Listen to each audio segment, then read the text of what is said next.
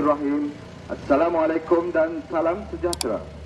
Seperti semua sedia maklum, kerajaan telah memutuskan pelaksanaan perintah kawalan pergerakan PKP 3.0 bermula dari 15 Jun hingga 28 Jun 2021. Perkara-perkara larangan semasa PKP berlangsung adalah tidak dibenarkan aktiviti sosial yang melibatkan perkumpulan beramai-ramai semua penduduk dikendaki berada di kediaman masing-masing dan tidak dibenarkan keluar jika tiada alasan yang munasabah.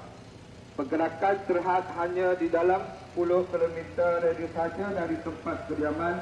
Hanya dua orang, satu kereta sahaja yang dibenarkan keluar. Sekiranya ada keperluan. Amalkan penjarakan fizikal sekurang-kurangnya satu meter dan elakkan daripada berada di kawasan yang sesak, sempit dan bersembang secara dekat.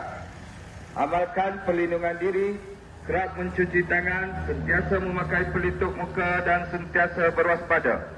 Untuk maklumat lanjut sila layari laman web www.mkn.gov.my.